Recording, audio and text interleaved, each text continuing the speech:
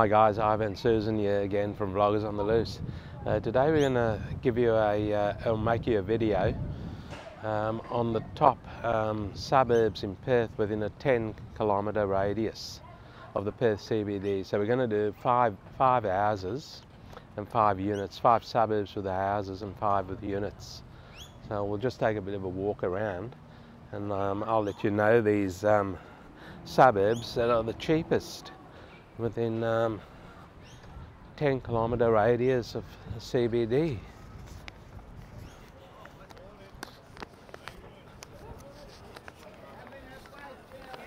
Everyone, everyone's out in force today, even the force. so, so, guys, um, it's a bit blowy over here. We're down at um, Elizabeth Quay in the Perth CBD. Um, the first, th these are houses I'll give you first. So the first suburb is Osborne Park. And Osborne Park is 7.2 kilometres uh, north of the Perth CBD.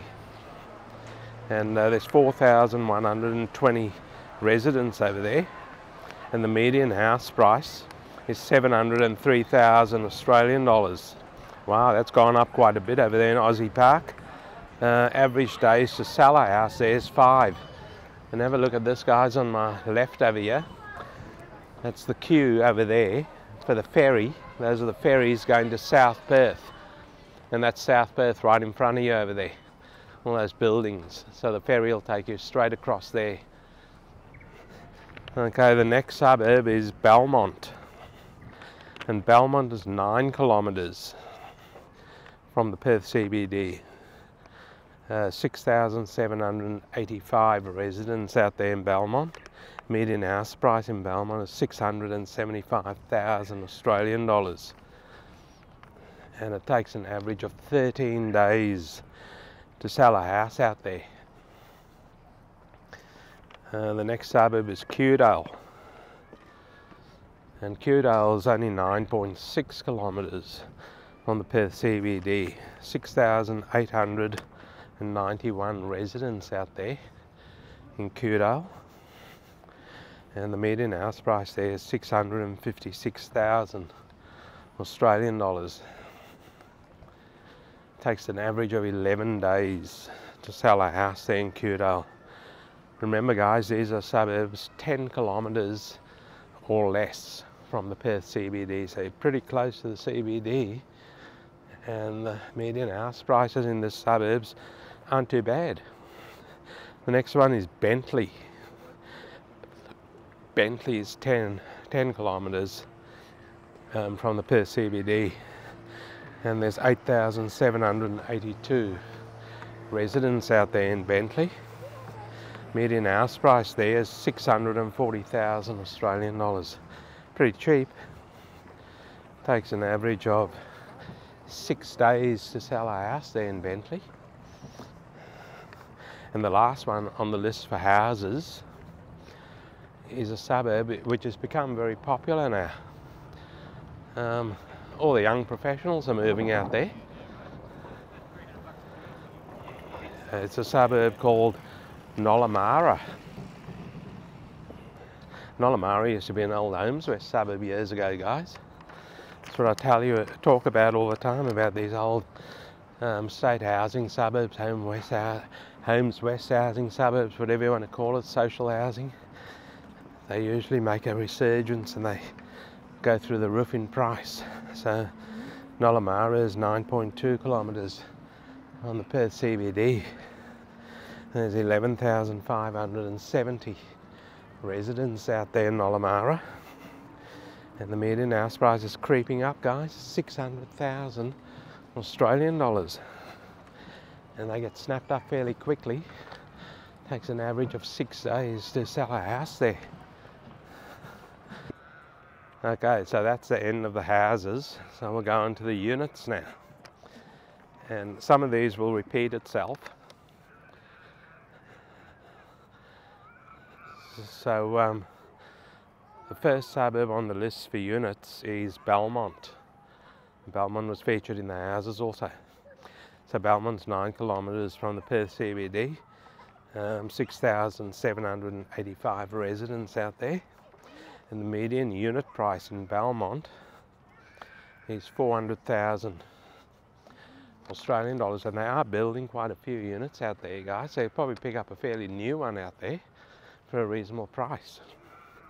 Um, it takes an average of 11 days to sell a unit now. Unit units are actually selling pretty fast now because uh, house prices are creeping up and people are the younger people are going for units now um, instead of houses because they've been priced out of the market on houses.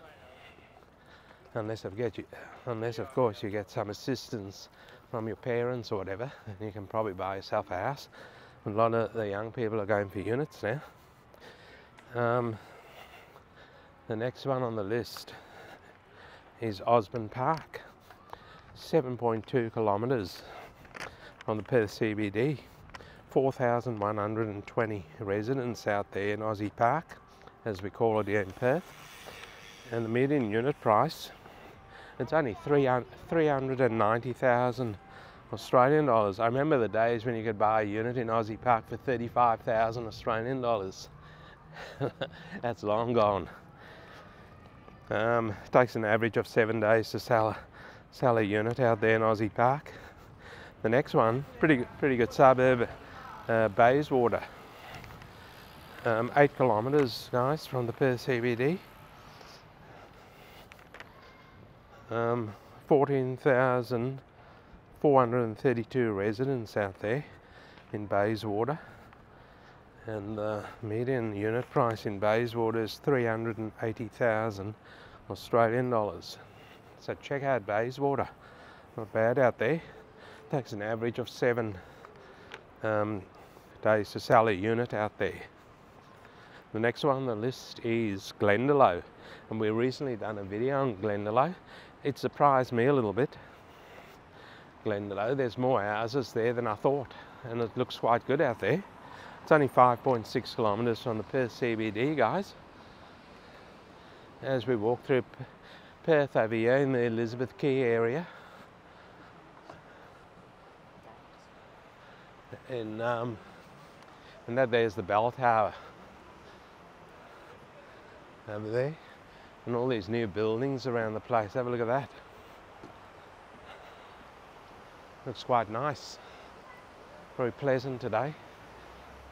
Um, Glendalough, guys, 5.6 kilometres from the Perth CBD. 2,483 people out there. And the median unit price is 358,000 Australian dollars. And it takes an average of 10 days to sell a unit out there. The next one is fairly close to Glendalough also. It's called Wembley. And um, Wembley's 5.4 kilometres from the Perth CBD. 11,301 residents out there. Um, median unit price in Wembley, 359,000 Australian dollars. So everything there is fairly close to the Glendalough, except the amount of residents.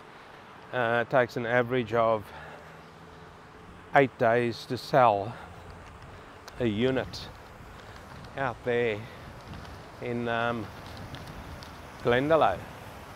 What do you guys think of that? I might just wind it up now because that's the end of it.